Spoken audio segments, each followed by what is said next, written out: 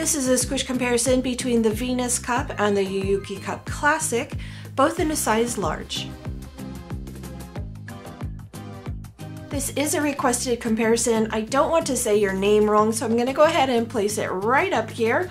Thank you for sending in your request. I'm gonna place both of these cups in the palms of my hands, give them a squish, swap hands, give them a squish again, and then compare the rims.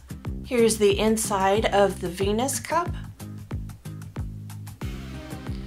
And inside of the Yuuki Classic, which is the firmest of their cups.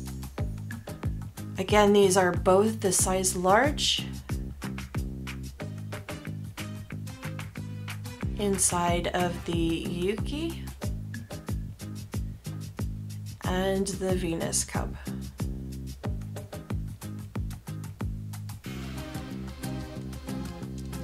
And just the rims.